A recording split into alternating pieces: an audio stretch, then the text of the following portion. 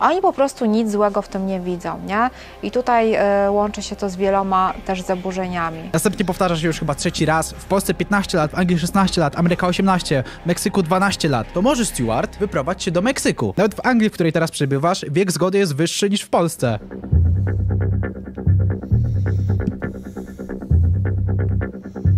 No. Zaczyna Kolejny się w końcu przypadek jest obrzydliwy, ponieważ Ja się dzisiaj o tym dowiedziałem, że on zlurował do mieszkania trzynastolatkę i się z nią przelizał. To jest kurwa niemożliwe, nie? I, wy, i wysłał penisa jej.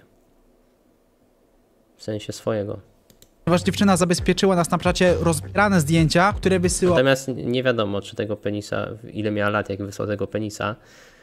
No ale zaprosił i przelizał się z nią, jak miała 13 lat. o jej Stewart. Daj mi jej na imię Agnieszka, połączył mnie z nią Gimper, bo ze wszystkich kanałów zgłosiła się tylko do niego. I dzięki Tomek, bo to jest naprawdę